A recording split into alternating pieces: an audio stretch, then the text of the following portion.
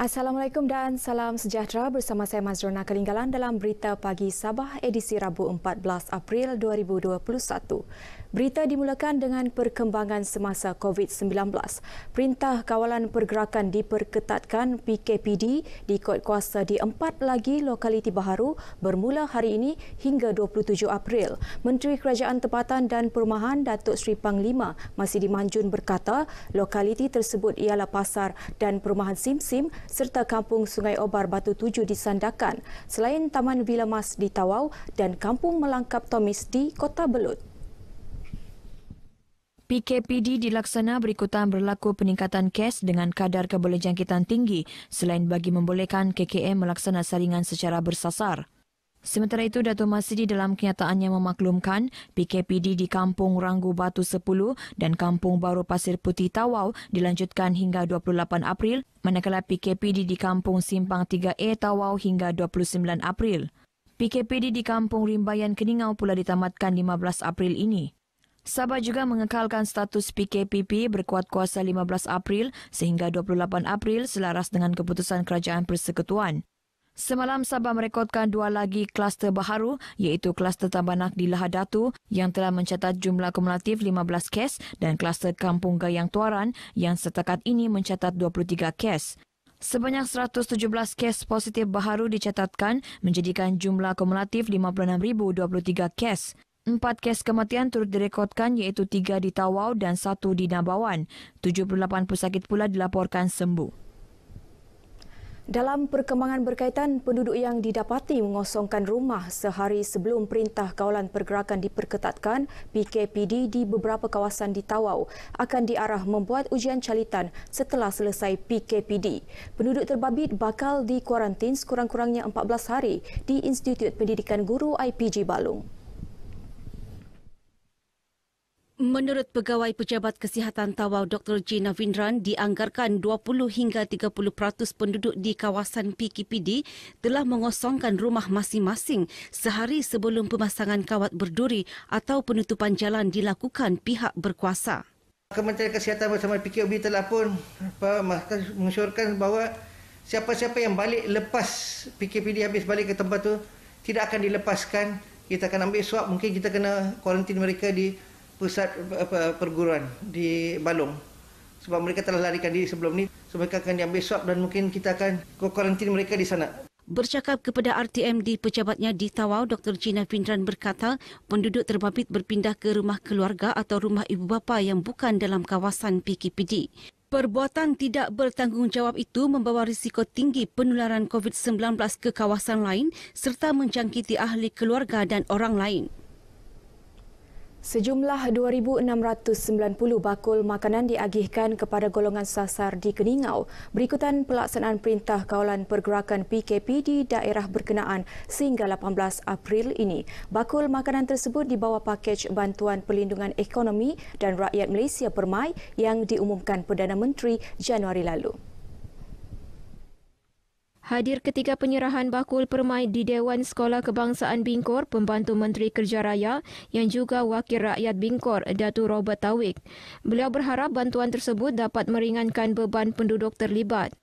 Penerima bantuan daripada kebajikan Sabah iaitu OKU, orang tua, pesakit terlantar, kanak-kanak, bantuan AM. Ini adalah sasaran kita untuk menyampaikan uh, bantuan uh, prihatin negara yang mana terjajas akibat PKP.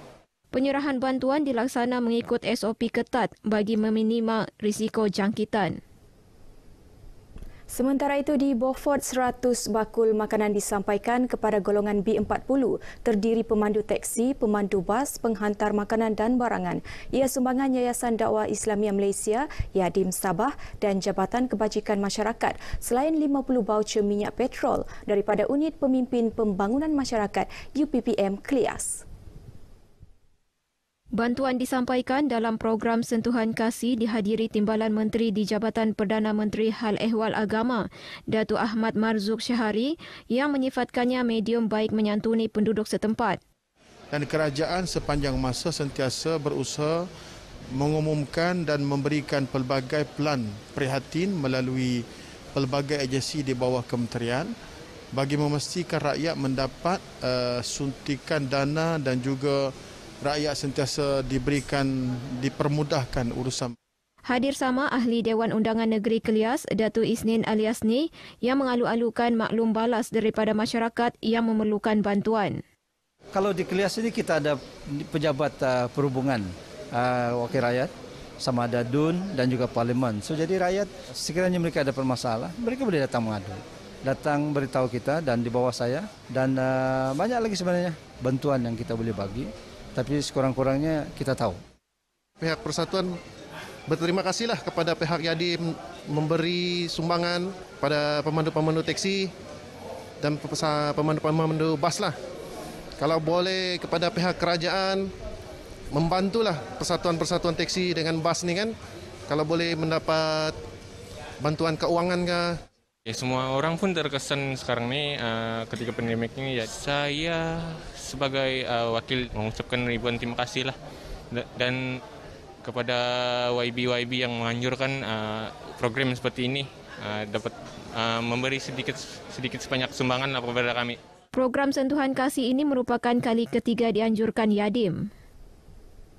Sebanyak 3.2 bilion ringgit diperuntukkan bagi melaksanakan empat inisiatif untuk mencapai tiga matlamat pelan jalinan digital negara jendela di Sabah. Antara matlamat berkenaan ialah mempertingkat kelajuan jalur lebar daripada 25 Mbps kepada 35 Mbps. Menurut Timbalan Pengarah Suruhanjaya Komunikasi dan Multimedia SKMM Wilayah Sabah, Ruben James Paulus, dua lagi matlamat ialah usaha memperluas liputan 4G di semua kawasan berpenduduk dan mewujudkan akses kelajuan gigabit perkhidmatan tetap kepada 251,165 premis. Okey, di Sabah kita penambah baik uh, pembinaan menara uh, komunikasi uh, yang baru di mana secara komersial kita mendapat sebanyak 46 menara telah siap dilaksanakan dan juga secara uh, pemberian perkhidmatan sejagat di mana sebanyak uh, 482 menara akan uh, telah dirancang dan kini dalam proses tender Ruben ditemui RTM selepas menjadi tetamu rancangan kami bah ini terbitan RTM Sabah di Kompleks Bersepadu KKMM Kota Kinabalu. Inisiatif lain bagi menjayakan jendela ialah penektarafan struktur komunikasi sedia ada kepada 4G, penambahan premis mendapat akses gentian optik berkelajuan gigabit dan penyediaan perkhidmatan internet melalui satelit dengan kelajuan purata 35 Mbps kepada 138 lokasi di kawasan pedalaman dan terpencil. Komuniti luar bandar di kawasan Parlimen Libaran dinasihatkan tidak mudah terpedaya dengan dakyah pihak tidak bertanggungjawab kononnya mengutip wang untuk program agihan bantuan rakyat.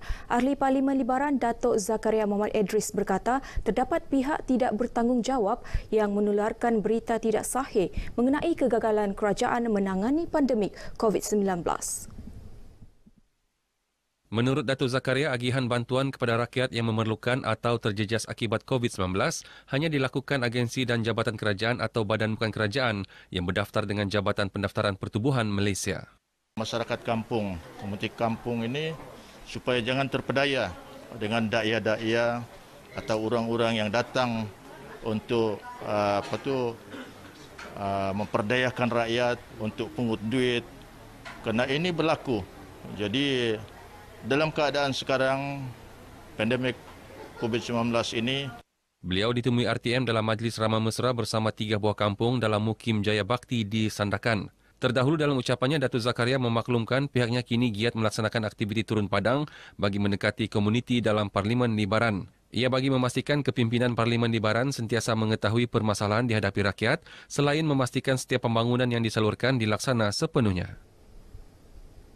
Perbadanan Pembangunan Ekonomi Sabah Setco melalui anak syarikatnya Perkasa Realty Sendirian Berhad giat membantu golongan usahawan Bumi Putra khususnya yang terkesan akibat pandemik COVID-19. Antara usaha dijalankan ialah mengadakan jelajah ke seluruh negeri untuk mencari lokasi strategik dijadikan pusat perniagaan. Menurut pengerusi Perkasa Realiti Sendirian Berhad, Ruslan Muharam, tumpuan adalah di kawasan penduduk berkepadatan tinggi bagi menarik minat usahawan-usahawan baru. Ia sebahagian daripada pelbagai program lain yang diatur sepanjang musim pandemik COVID-19 ini. perlu kita uh, melangkah ke hadapan untuk membantu uh, golongan uh, usahawan-usahawan Putra ini kerana uh, di perkasa realiti itu sendiri mempunyai peranan dan tanggungjawab di mana uh, pihak kerajaan telah pun uh, uh, memberi uh, peluang-peluang uh, kepada usahawan-usahawan ini. Ruslan ditemui RTM selepas melancarkan lot rakan niaga perkasa realiti sendirian berhad An-Nur Enterprise di Papar.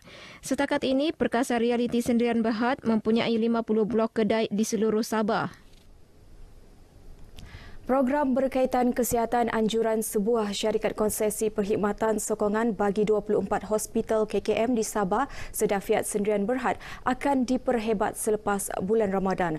Ia melibatkan pemeriksaan kesihatan, derma darah dan kempen pendaftaran vaksin dijayakan bersama Badan Bukan Kerajaan NGO termasuk Bulan Sabit Merah Malaysia. Ketua Pegawai Eksekutif Syarikat Berkenaan Datuk Awang Buh Tamam Awang Mahmud berkata turut dilaksana pemeriksaan gigi percuma kepada kanak-kanak berumur 12 tahun ke bawah. Kita juga merancang uh, untuk terus mengadakan program ini bagi menyantuni masyarakat uh, selepas nanti daripada uh, bulan puasa dan uh, insyaAllah nanti program ini uh, akan dapat kita uh, teruskan dengan kerjasama daripada pelbagai pihak. Datuk Awam Butama berkata demikian selepas perasmian program pemeriksaan kesihatan di Papar. Program berlangsung di dua lokasi, Masjid Raudatul Ilmiah Kampung Kuala dan Masjid Jami As-Salam Kampung Benoni.